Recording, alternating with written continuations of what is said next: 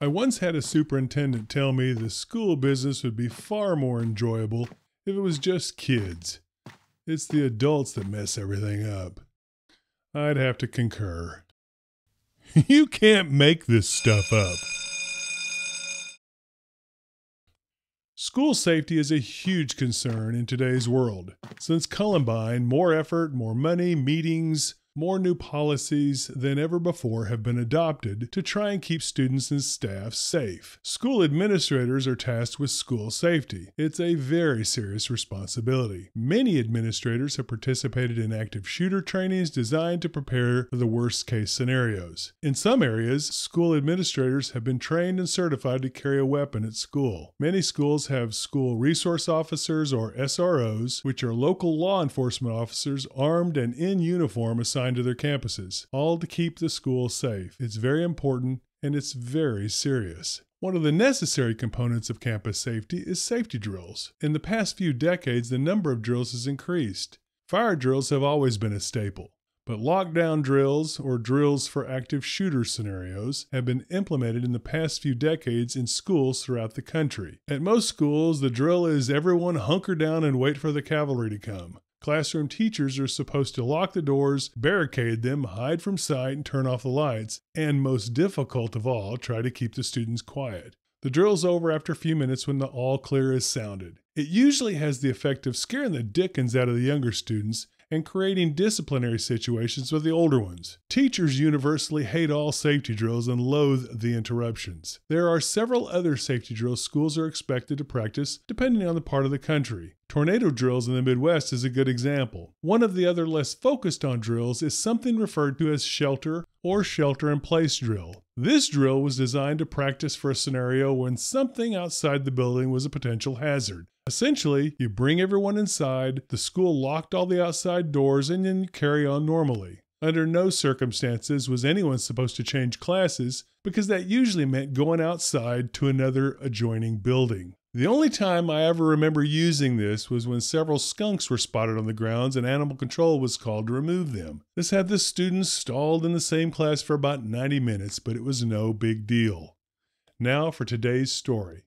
I was contacted by one of the school resource officers, or SROs. He excitedly told me that it would be necessary to immediately bring everyone indoors and keep them there. An armed robbery and subsequent chase had concluded in our community. Law enforcement of every stripe was encircling the area in and around the school searching for the criminals. For obvious reasons, a couple of thousand high school students wandering around in the middle of this activity was a bad idea. Over the loudspeaker, we announced the school would shelter in place until the local police decided it was safe to go back to a regular schedule. I knew this was likely to be an unpleasant ordeal. We instructed the teachers to keep the students in their classes and lock the doors, but otherwise, it was business as usual. By clearing the hallways, the SROs and administrators were better able to monitor activity. After about two hours with no movement, it was getting pretty boring.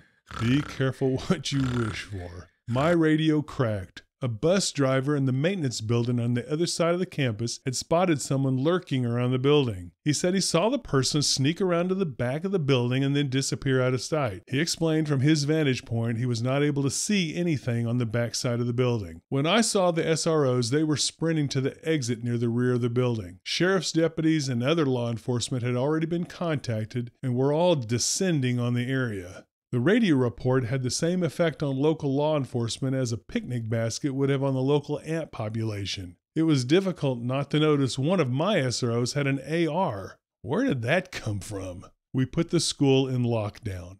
From a safe distance, I saw the SRO throw the back door open and carefully look outside. From the other direction, a small horde of uniforms approached. The area was empty. The letdown was palatable. The SRO looked at me. I just shrugged. We immediately checked our security cameras. Our security cameras outdoors were limited. Well, that's being generous. They weren't very good at all. They were terrible. Sure enough, as we watched the monitor, a person entered from between some cars and headed to the back of the building. The image was horrible. The person had a dark coat or hoodie and appeared to be carrying something bulky in their arms. There were many blind spots in the coverage. As we played back the video, the person moved out of view but never showed up again on any other video feed. It was like they vanished. The SRO and I tried to figure out what happened, but were completely buffaloed. The other law enforcement officers were still searching around the building. My SRO was wound up tighter than a watch spring. The video was lousy. I asked the SRO if he could tell what the person was carrying. He said he didn't know. It could be anything a bomb, some books, a briefcase.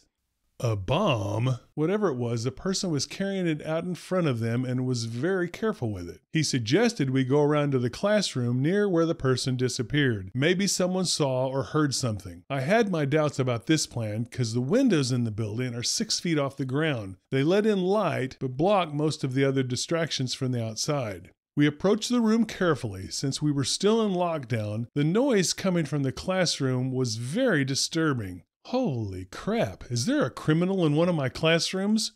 One full of students? My heart begins to thump hard against my chest. I look over at the SRO and I can tell he is thinking the same thing, except he has an AR. The SRO used his key to unlock the door and then flew into the classroom. What I saw when I peered in the open door was almost unbelievable. The class was having a pizza party. There were at least four pizza boxes open and partially eaten. Most of the students and the teacher were moving about enjoying a slice of pizza. The SRO said something out loud I cannot repeat. The room freezes. That's the appropriate response when an amped up policeman carrying a rifle sprints into your classroom. All at once, it was obvious to me, and it was confirmed the next day during an after action safety review. I am all at once relieved, but I am really pissed at the same time. The next day during the meeting, we learned the teacher allowed one of the students to climb out of the window, get in his car, and fetch pizzas for the class. The bus driver saw him as he returned. He disappeared from the video feed because he climbed back through the window after delivering the pizzas. The room's window was in a blind spot. Over and over in my mind while we were having that meeting, I kept asking myself, what other poor choices is this teacher making? Check that. I probably don't want to know. You can't make this stuff up.